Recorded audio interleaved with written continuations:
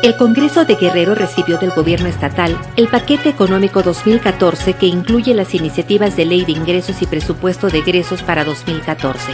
Las y los diputados ratifican su compromiso con la sociedad de respaldar la iniciativa de no incrementar impuestos y aprobar un proyecto de gasto que impulse los sectores más importantes para el desarrollo de Guerrero.